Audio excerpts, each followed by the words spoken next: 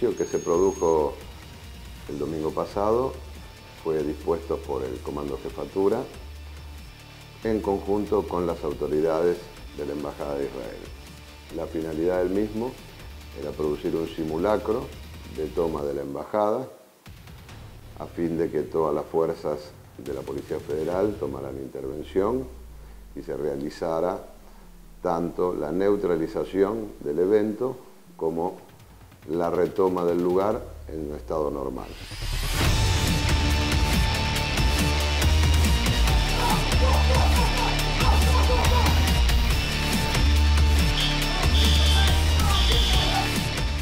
Para poder realizar el simulacro se realizó una hipótesis de conflicto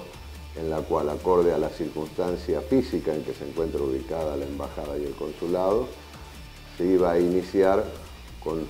un primer ataque sobre la planta baja del lugar, donde se encuentra el primer sector de seguridad de la embajada, con personal de Policía Federal a cargo de la custodia del lugar, simulando una agresión directa al personal, más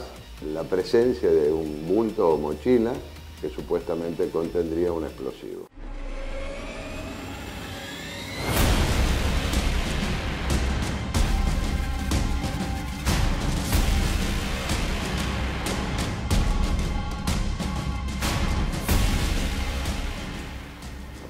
Y lograda esa neutralización,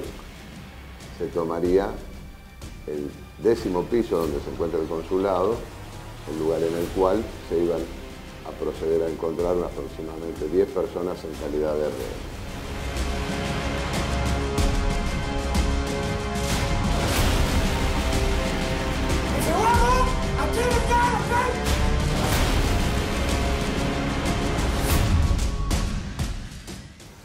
Otra parte, en forma simultánea, se genera lo que se denomina un ataque conjunto. Entonces se ubica, a su vez, personal en el segundo subsuelo del edificio, donde se encuentran las cocheras, y otro sujeto que con armas ingresa al lugar y produce un ataque, luego huyendo de la planta baja del lugar hacia la vía pública, donde posteriormente es neutralizado. Así las cosas y con este cuadro de situación se inicia el ejercicio hasta que en determinado momento, por las circunstancias producidas, la embajada da anuncio de que está siendo atacada, sin saber a ciencia cierta qué es lo que sucedía, motivo por lo cual a través de la sala de operaciones de Policía Federal se comienzan a disponer el traslado de las distintas áreas que van a intervenir.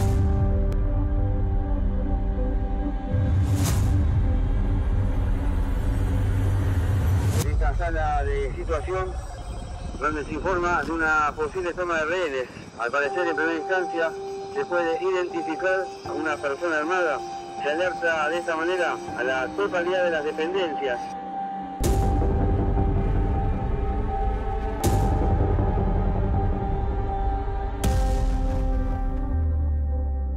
Inicialmente, como primer punto, se produjo el traslado de personal que se encuentra habitualmente dispuesto en la zona de área de Plaza de Mayo para producir un primer anillo de seguridad dentro de lo que es todo el predio que ocupa el edificio donde se ubica la embajada. Seguidamente, siempre a través de la sala de operaciones, se empiezan a disponer que arriben al lugar distintas fuerzas. Por un lado, la FARC operativa, inicialmente el grupo especial de tareas G1, al tiempo que se comunica también al grupo GEO, y por otra parte distintas fuerzas de nuestra policía que comienzan a realizar los anillos de seguridad.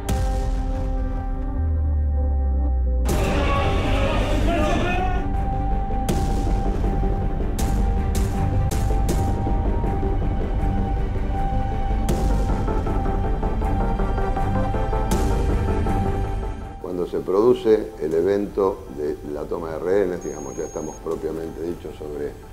eh, la toma del lugar, se dividieron las tareas en función de, por una parte, personal de explosivos de la Superintendencia Federal de Bomberos, iba neutralizando el paquete sospechoso que se encontraba en la planta baja. Otro grupo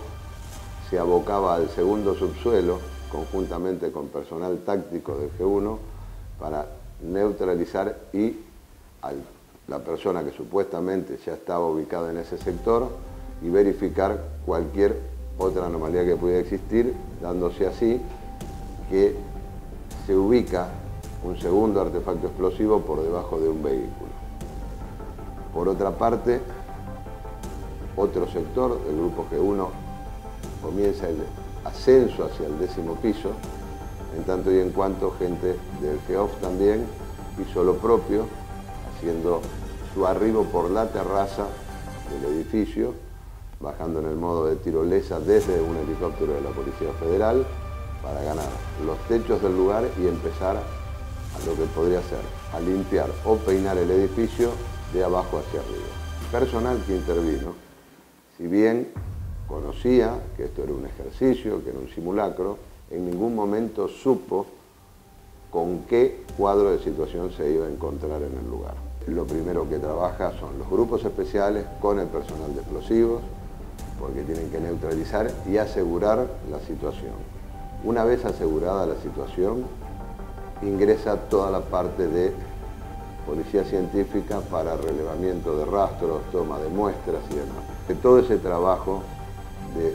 levantamiento de rastros, identificaciones y demás son lo que va a ayudar a posteriori a la consustanciación total del sumario judicial con la intervención del juzgado federal.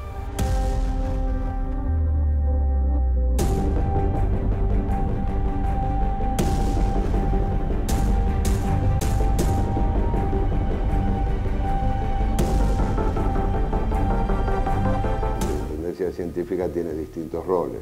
desde identificación de personas que se encuentran en los alrededores a través de los RAPID, la identificación posterior, de ser necesario, de víctimas o atacantes,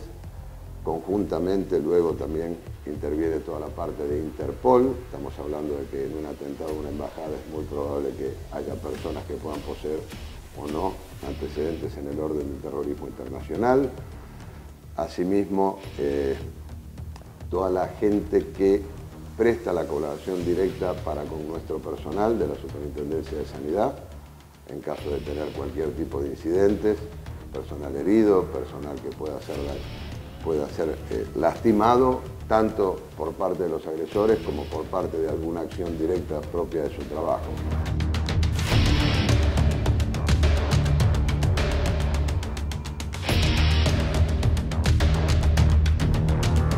Superintendencia Federal de Bomberos eh,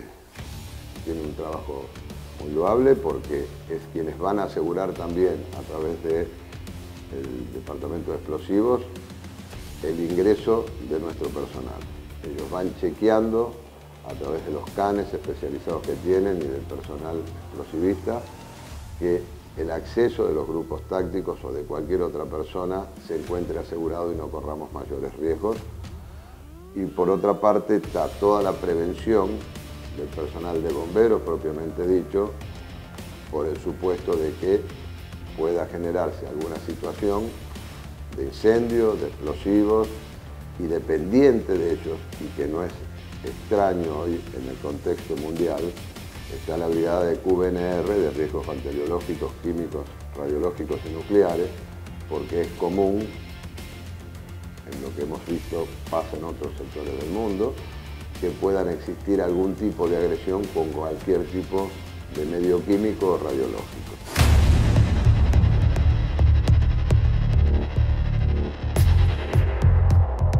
Toda la parte logística de comunicaciones encriptación de comunicaciones que realiza la Superintendencia Federal de Comunicaciones y Tecnologías,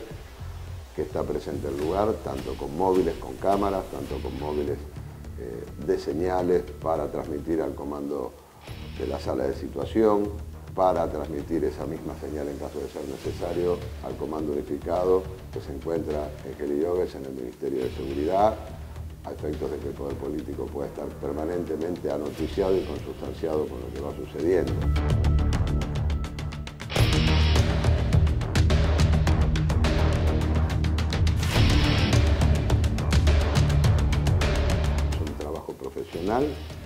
Equipo,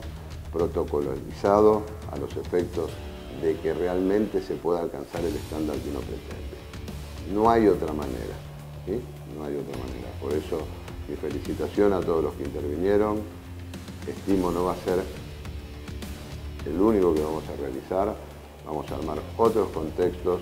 vamos a armar otras situaciones y de esa manera nos vamos a estar todos